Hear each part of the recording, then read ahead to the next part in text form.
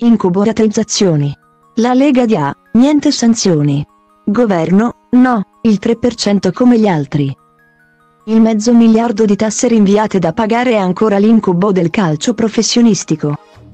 La scadenza del 22 dicembre si avvicina e il tira e molla sulle modalità della rateizzazione. Probabilmente la strada che sceglierà la maggioranza dei club è ancora in corso. Da una parte la Lega di Serie A che chiede versamenti spalmati senza interessi e sanzioni.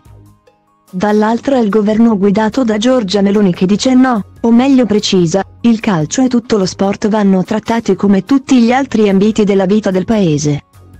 Tradotto, al momento attuale la prospettiva più probabile è che i club debbano pagare sui vari fronti fiscali e previdenziali il 3% di multa per accedere al meccanismo delle rate in 5 anni. Riavvolgiamo il nastro. Nella commissione del bilancio del Senato, otto giorni fa. Il presidente della Lega di Serie A Lorenzo Casini era andato all'attacco denunciando la contraddizione fra i provvedimenti precedenti. La sospensione dei versamenti per salvaguardare la liquidità del sistema stremato dalle perdite del Covid. E l'out-out di queste settimane, con l'obbligo a versare tutto e quindi a far entrare dalla finestra ciò che avevi cacciato dalla porta cioè i soldi per mandare avanti un sistema fortemente indebitato. Il discorso era più o meno questo, chiedendoci tutto e tutto insieme.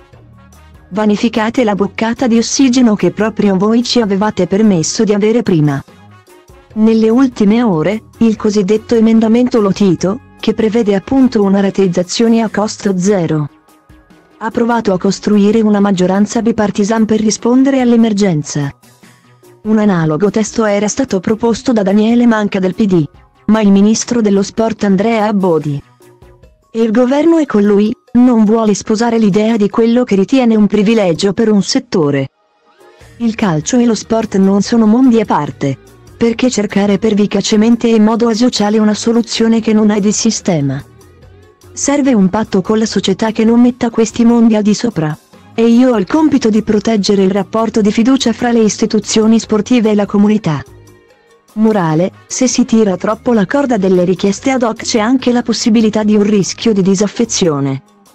Insomma, l'emendamento al decreto legge aiuti quater non dovrebbe fare molta strada almeno a quanto si ascolta negli ambienti governativi e parlamentari più informati. Il testo dovrà essere approvato entro il 18 di gennaio. Attualmente è alla Commissione Bilancio, di cui Claudio Lotito è il vicepresidente, ed è qui che si giocherà la partita degli emendamenti. Prima bisognerà verificarne l'ammissibilità, poi si passerà alle eventuali votazioni e quindi il decreto sarà licenziato per i due passi parlamentari.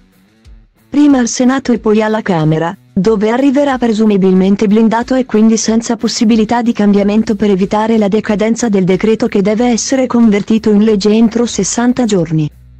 Un provvedimento che comunque correrà parallelamente alla discussione sulla legge di bilancio che invece va approvata entro la fine di quest'anno.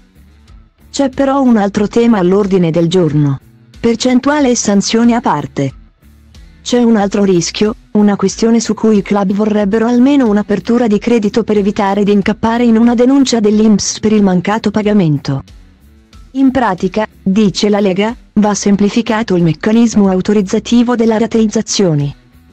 Altrimenti, non pagando entro il 16 febbraio, si rischierebbero sanzioni penali e sportive. Per questo, fra le ipotesi si era anche ipotizzato una sorta di scudo penale. Su questo punto, deve essere in corso una discussione. In ogni caso, non ci sarà nessun salvagente specifico. L'eventuale scudo funzionerebbe per tutte le imprese. Ed ecco perché c'è su questo una certa prudenza. In questo caso, però, l'interlocutore chiave è il Ministero della Giustizia. Chiamato a trovare un equilibrio fra pace fiscale e pace penale per chi rispetta gli impegni assunti con l'Agenzia delle Entrate. Fra calcio e governo, comunque, nonostante le distanze, non c'è un clima da imminente rottura. Lo dice una serie di contatti, anche di natura tecnica, per giungere a una soluzione che possa comunque ridurre l'impatto della scadenza ormai alle porte anche perché la rateizzazione non è il solo fronte aperto nel rapporto con le istituzioni. Il famoso patto di cui parla il ministro Abodi è ancora tutto da costruire.